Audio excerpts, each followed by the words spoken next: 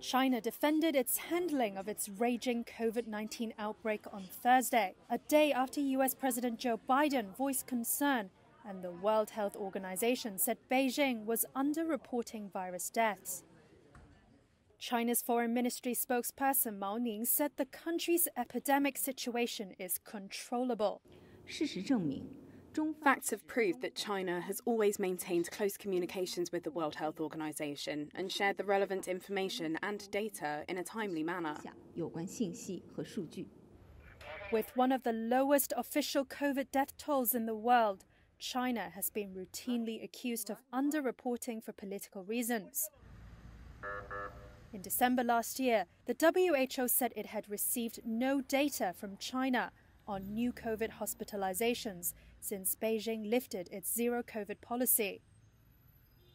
It prompted some health experts to question whether it might be hiding information on the extent of its outbreak. In the WHO's latest weekly report, figures on Thursday show a nearly 50% increase of new COVID 19 hospitalization in the week to January 1st and 218,019 new weekly COVID cases as of January 1st. Adding that gaps in data might be due to authorities simply struggling to tally cases.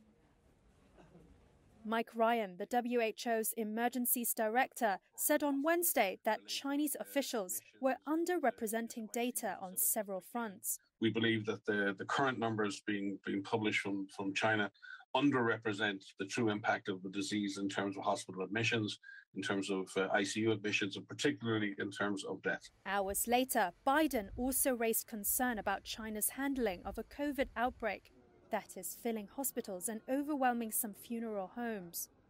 China's not been, I know they're very sensitive about suggest, when we suggest they haven't been that forthcoming.